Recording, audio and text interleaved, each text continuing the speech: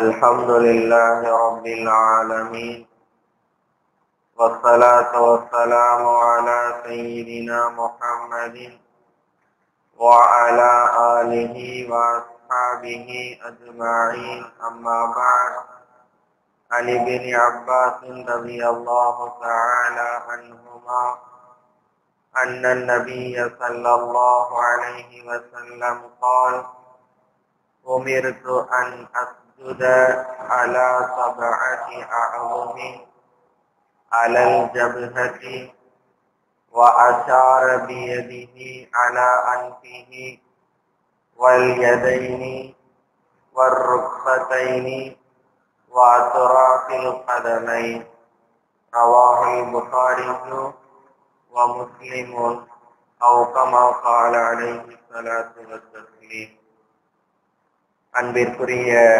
அல்லாஹ் நல்லடியார்களே தொழுகையிலே நாம் செய்யக்கூடிய விவாதத்துக்களில் நாம் செய்ய வேண்டிய அமல்களில் மிக முக்கியமானது அல்லாஹிற்கு மிகவும் உவப்பானது.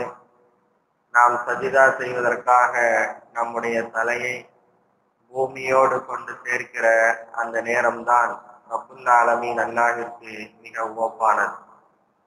சஜிதா செய்யும் போது தொழுகையிலே எத்தனை உறுப்புகள் பூமியில் பட வேண்டும் என்பதை குறித்து ஹதரத் ரசூலுல்லாஹி ஸல்லல்லாஹு அலைஹி வஸல்லம் அவர்களின் மூலமாக நமக்கு போதிக்கப்பட்டிருக்கிறது. நம்ப தகுந்த நபிமொழி கிரந்தங்களான சஹீஹி புகாரி முஸ்லிம் போன்ற நபிமொழி கிரந்தங்களிலே இந்த நபிமொழி பதிவு செய்யப்பட்டிருக்கிறது. நபி அவர்கள் சொல்கிறார்கள் உமிர்த்து நான் ஏவப்பட்டேன் நான் கட்டளையிடப்பட்டிருக்கிறேன். அன் அஸ்துத அலா சபஅத்தி அஅதுமின். மிக பெரிய மகத்தான ஏழு உறுப்புகளின் மீது நான் சஜிதா செய்ய வேண்டும் என்று நான் கட்டளையிடப்பட்டிருக்கிறேன். அல்லாஹின் மூலமாக நான் பணிக்கப்பட்டிருக்கிறேன் என்று அல்லாஹுவின் தூதர் சல்லல்லாஹ் அலைஹி செல்லம் அவர்கள் சொல்லிவிட்டு அந்த ஏழு உறுப்புகள் என்னென்ன என்பதையும் அந்த நபிமொழியிலே தொடர்ந்து சொல்கிறார்கள். அலல் ஜபுகத்தி நெற்றியின் மீது நான் சஜிதா செய்ய வேண்டும் என்று நான் ஏவப்பட்டிருக்கிறேன் முதலாவதாக நபி அவர்கள் சொல்கிறார்கள். சஜிதாவின் போது நெற்றி பூமியிலே இருக்க வேண்டும். இரண்டாவது நபி அவர்கள் சொன்னார்கள் தன்னுடைய மூக்கின் பக்கம் இஷாரா செய்துவிட்டு கையை காட்டியவர்களாக அலா அன்பிஹி அவருடைய மூக்கின் மீது சஜிதா செய்ய வேண்டும் என்று நான் ஏவப்பட்டிருக்கிறேன் என்று நபி அவர்கள் சொன்னார்கள். சஜிதாவின் போது நம்முடைய மூக்கு பூமியிலே பட வேண்டும். மூன்றாவதாக வல் எதைனி நம்முடைய இரண்டு உள்ளங்கைகள் பூமியிலே பட வேண்டும். நான்காவதாக ஒரு ருப்பத்தை இரண்டு முழங்கால்கள் இந்த பூமியிலே பட வேண்டும். அதே போன்றுதான் வாசராஃபில் கதமை பாதத்தினுடைய ஓரங்கள் அதாவது இரண்டு கால்களுடைய விரல்கள்.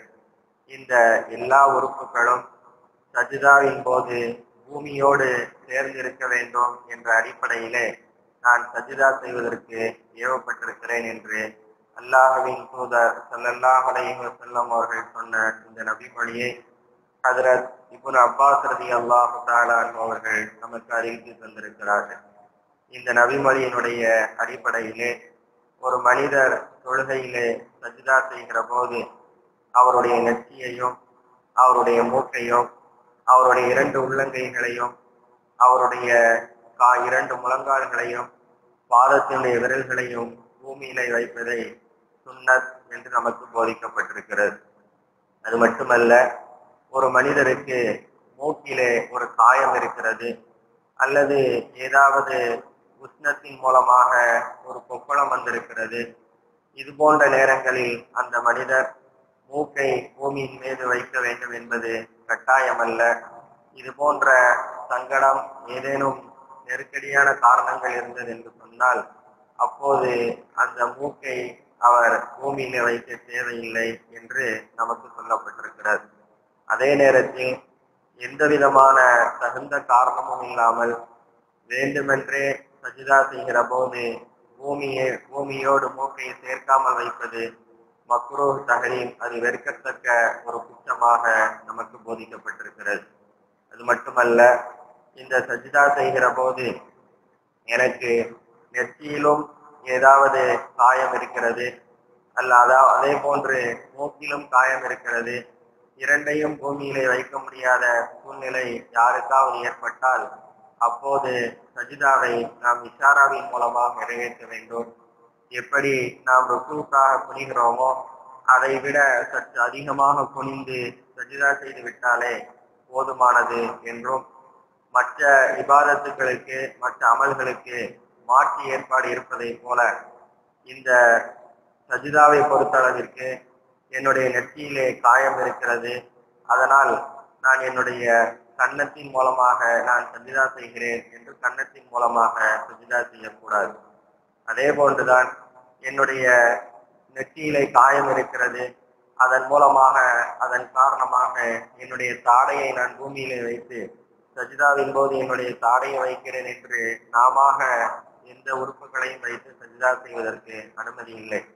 அதற்கான காரணம் என்னவென்று சொன்னால் நம்முடைய தொழுகையிலே தக்பீர் கட்டியது முதல் சலாம் கொடுக்கும் வரை கிபிலாவின் திசையை நாம் முன்னோக்கி இருக்க வேண்டும் என்பதுதான் மிக முக்கியமான ஒரு செய்தி. ஆனால் நெற்றியிலே காயம் என்பதன் காரணமாக கன்னத்தை வைத்து ஒருவர் சஜிதா செய்வதற்கு அனுமதிக்கப்பட்டால் கன்னத்தின் மூலமாக சஜிதா செய்கிற போது அவருடைய முகம் கிபிலாவின் திசையை விட்டும் திரும்புவதற்கான வாய்ப்பு இருக்கிறது. எனவேதான் அதற்கான அனுமதி நம்முடைய மார்க்கத்திலே வழங்கப்படவில்லை. அதே போன்றுதான் ஒரு மனிதர் தாடையை சஜிதா செய்கிற போது பூமியில வைக்கிறார் என்றால் சஜிதாவின் போது நம்முடைய முகம் பூமியை நோக்கி இருக்க வேண்டும். ஆனால் தாடையை வைத்து சஜிதா செய்கிற போது பூமிக்கு மேலாக நம்முடைய முகம் இருக்கிறது. இதுவும் கிபிலாவினுடைய திசையை மாற்றுவதை போன்று தெரிகிறது. எனவேதான் நெற்றியிலே உங்களுக்கு சஜிதா வைப்பதற்கு ஏதேனும் இடையூறு இருந்தது என்று சொன்னால் சைக்கிணையின் மூலமாக அதை நிறைவேற்றி விடுங்கள். கன்னத்தின் மூலமாகவோ தாடையின் மூலமாகவோ நிறைவேற்ற வேண்டாம் என்கிற செய்திகள் மார்க்க விளக்க நூல்களிலே நமக்கு சொல்லி தரப்பட்டிருக்கிறது. அதே போன்றுதான் இந்த சஜிதா செய்கிற போது நாம் கடைபிடிக்க வேண்டிய கவனிக்க வேண்டிய மிக முக்கியமான செய்தி என்னவென்றால் சில நேரங்களில் நாம் சொல்லுகிற இடங்களிலே சஜிதா செய்கிற போது நமக்கு முன்னிலையிலே இருக்கக்கூடிய அந்த இடத்திலே ஏதேனும் தூசிகள் இருக்கிறது அல்லது வேறு ஏதேனும் பொருட்கள் இருக்கிறது என்று சொன்னால் நெற்றியிலே அவைகள் சஜிதாவின் போது ஒட்டி கொள்கிறது இந்த நெற்றியிலே ஒட்டிய அந்த பொருட்களை தொழுகையில் இருக்கிற போது நாம் அவைகளை தடவலாமா? அவைகளை தட்டி விடுவதற்கான அனுமதி இருக்கிறதா என்று பார்த்தால் எந்த பொருள் நம் இடத்திலே சஜிதாவின் போது ஒட்டி இருக்கிறது என்பதை நாம் பார்க்க வேண்டும். அந்த பொருளை அகற்றாமல் அப்படியே நாம் அடுத்தடுத்து சஜிதா செய்தால் நம்முடைய உடலுக்கு இடையூறு ஏற்படும் என்றிருந்தால். உதாரணமாக ஒரு சிறிய கல் பொடி கல் கிடந்தது.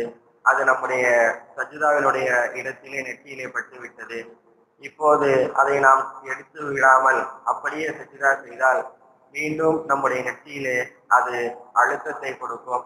அதன் மூலமாக நம்முடைய சிந்தனை மாறும் என்றிருந்தால் அந்த கல்லின் மூலமாக நமக்கு இடையூறு ஏற்படும் என்றிருந்தால் அந்த கல்லை அப்புறப்படுத்திவிட்டு நாம் சஜிதா செய்வதற்கான அனுமதி நம்முடைய மார்க்கத்திலே வழங்கப்பட்டிருக்கிறது.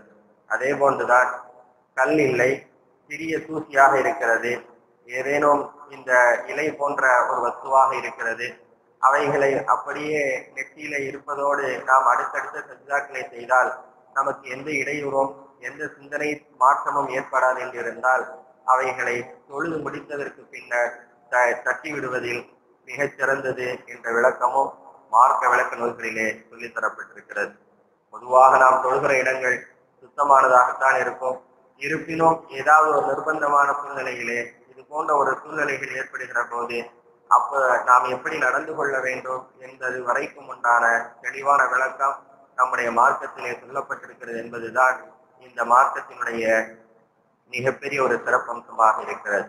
ரப்புல் ஆலமீன் அல்லாஹ் சஜிதாவின் போது நாம் கடைபிடிக்க வேண்டிய வழிமுறைகள் நடைமுறைகள் குறித்து அல்லாஹ் ஜல்லஷானஹுத்தாலா நபி அவர்களுக்கு எதை கூறியிருக்கிறானோ நபி அவர்கள் எதை நமக்கு போதித்திருக்கிறார்களோ அந்த போதனை முறைகளை நம்முடைய நினைவிலே நிறுத்தி தேவைப்படுகிற போது அவைகளை தேவையான அளவு பயன்படுத்தி வாழக்கூடிய நல்ல மக்களுடைய கூட்டத்திலே நம்மையும் நம்முடைய சந்ததிகளையும் پھر پا رہا ہے۔